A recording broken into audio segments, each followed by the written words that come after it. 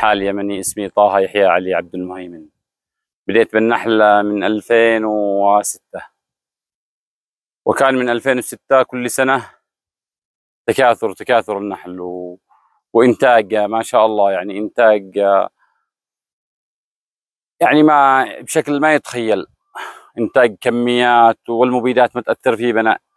قصة أنتج والنحل بداية معي من 2006 بديت ب 30 صندوق. حتى جاء 2015 معي 3000 2016 بديت اطلع فوق ال 3000 لما وصلت حتى 7000 خلية. 2020 وصلت 7000 خلية.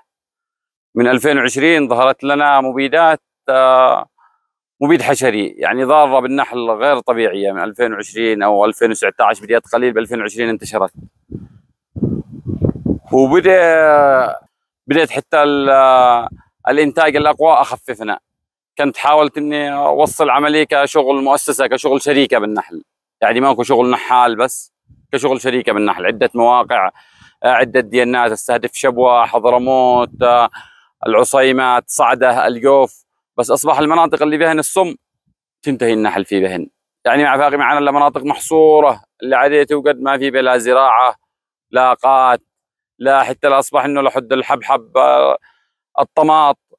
السم هذا يوصل لهن. ويستهدفنا أصبحنا نهرب الصحاري اللي عادي ما في بها الزراعة. وخفت الكمية الإنتاج. يعني مع هروبنا من القات من المناطق اللي فيها بها قات الإنتاج خف علينا. لأنه الأكثر المناطق في بها قات. اجتاحت علينا السدر والعسل وهذا. مع الإنتاج قليل إحنا سبب المبيد الحشري نهرب المناطق اللي هي بعيدة. وتتزاحم علينا النحل. والإنتاج يخف كل سنة يخف يخف. يعني لا حتى وصلنا وقوف إنماء بالنحل. وقفنا من الإنماء. يعني تكثير الكمية خلاص وقوف. يعني على 7000 واقف. أنا من النحاله الكبار اللي يشتغلوا كشغل شرايك ما بال النحاله الصغار عدد كبير. يعني عدد لا يتصور. أكثر من 800 نحال اللي فلس أكثر من 800 نحال. هذا اللي هم الطبقة اللي هو معه الله 200 صندوق 300 صندوق. هذا انتهي. وما ذكرش. النحاله الكبار غيري اللي من حضرموت انتهت عليهم نحل عندنا بالشمال.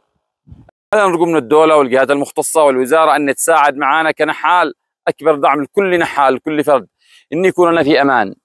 يعني أنا الآن أصبحت ما فيش أمان عندي. يعني مثل ما اللي أروح بعد نحلي مثل ما اللي خايف صاروخ من ناس يعني خايف من السم. هذا يرش هذا يرش أصبحت أنا والرعية بقضية. يعني أصبح الرعوي عدوي. صاحب المنطقة اللي عنده أنا بدل ما يكون هذا يشوفه له أنا كعدو هو يشوفه لي كعدو. لأني أنا مش شو يسمم حقه ذا. هو في البديل. يوجدوا البديل من المبيدات هذه اللي تكون ما هي ضارة بالنحل. يعني اللي تكون تفيد المزارع وأنا ما أتضرر كنحال يمني.